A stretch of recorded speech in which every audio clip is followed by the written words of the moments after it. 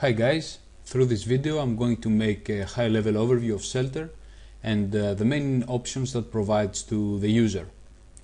So basically uh, Shelter is a dynamic uh, cell code injector or in other words a dynamic PE infector.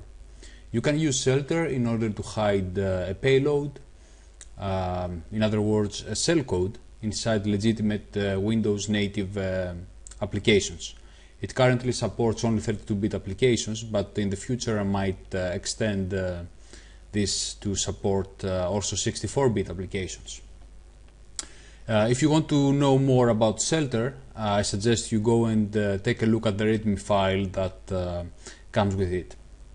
So when you execute Shelter, you are going um, to see this, this logo and it's going to ask you for the target. The target is basically the executable that uh, you're going to use in order to hide your cell code inside. So Shelter provides an infinitely polymorphic template where you can inject cell code because you can use basically any standalone 32-bit application. You, do, you don't have to use any static templates. Of course, the executable can be something you created or just a legitimate application. Uh, for example, this hex editor that I'm going to use uh, right now. So we're not going to discuss in detail uh, the various features, just uh, uh, as I said, this is going to be a high-level overview of Shelter. So let's enter the name of the executable. We see that uh, Shelter is going to eliminate dynamic page if it's enabled and uh, any digital signature, let's say information um, from the file. This is done basically in order to um, avoid the same AVs to trigger some pre-filters in case uh, they see that the digital signature cannot be validated. So then it's going to ask us if uh, we want to log thread context. We're going to see this detail, uh, this feature in detail later uh, in the, in, the, next videos. But for now, you can see that some options have uh, this H here, which means that uh, um, if you use um, this option you can see some uh, tips and information about uh, what basically this uh, option has to do about. Here you can enter the number of instructions. We can put for example 1 million. Uh, Shelter provides the option that we can uh, uh, stop the tracing and continue with the rest of the injection process if we want by pressing Ctrl plus C. here again we have the option have some information. Generally, you just need to start from, to trace from the entry point. Again here, uh, Shelter is asking us if we want to uh, check for self-modifying code uh, in real time. Then again, it's going to ask if we want to trace all threads in case uh, the process creates more than one.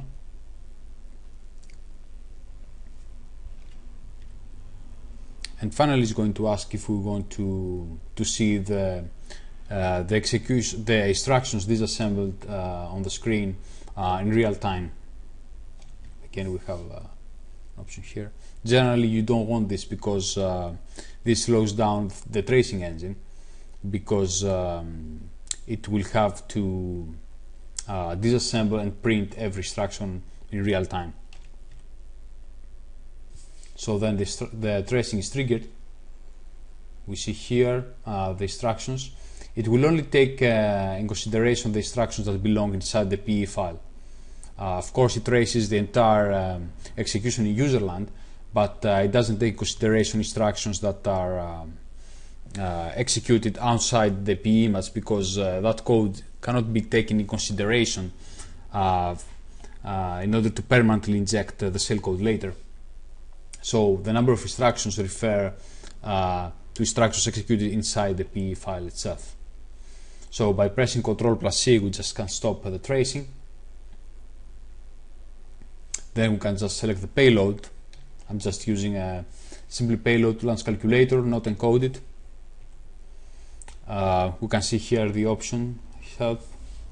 We can enable this um, in case uh, the payload uh, is encoded, but we can also enable it if the payload is not.